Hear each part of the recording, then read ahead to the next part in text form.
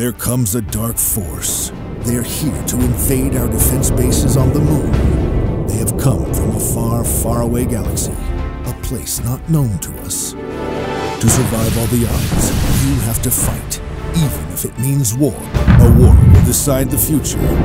Fight between the two forces, us and the dark forces, that will change the course of history. The question is, are we up for the war we must survive?